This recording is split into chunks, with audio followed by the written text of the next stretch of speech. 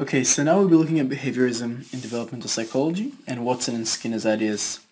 So basically, um, this is an example of a learning theory, as well as the next one we'll look at for social learning, uh, which means they kind of look at this sense of continuity through development, and you only kind of develop through this learning.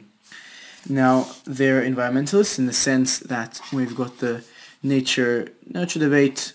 Don't think of it as the tree, think of it as nature, okay, as uh, genetics, but they're all about development, nurture, okay, and the way we um, develop through the different, you know, physical parts of our lives, our behavior. That's why it's behaviorism.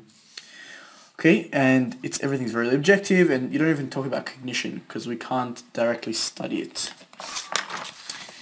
Now, Watson kind of applied the classic Pavlovian stuff for learning. So uh, remember Pavlov was the guy with the bells and he rang it and he conditioned them. So whenever he rang the bells, uh, the dogs salivated. And Watson took that and got little little Albert, okay, and um, gave him a little fluffy white rat, which he really liked.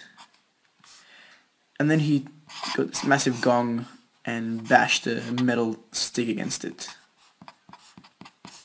And then he made a massive, a really loud noise, which of course scared Albert, little Albert, and was, uh, because he was introduced with a rat every time, he got scared of the rat.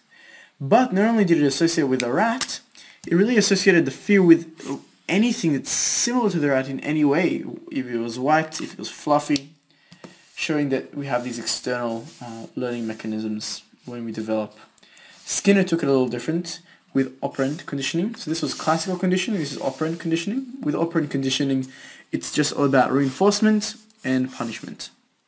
Okay, so if someone does something that uh, you reward, they're gonna do it more and more, right? And opposite with punishment.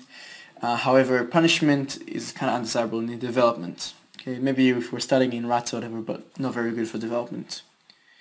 And um, really it's all about this kind of different types of reinforcement which uh, we'll, we'll look we look back later on on the learning part but all you gotta remember is that developmentally behaviorism is a learning theory and it's, uh, it advocates kind of this continuous change as opposed to the stage theorists which we'll look at in a bit which say you know first there's this and then there's this other thing this other part in your life that you go on to.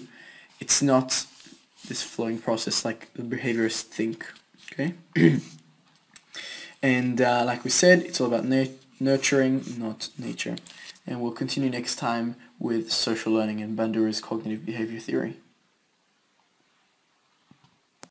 Cut study time with concise video summaries by top students.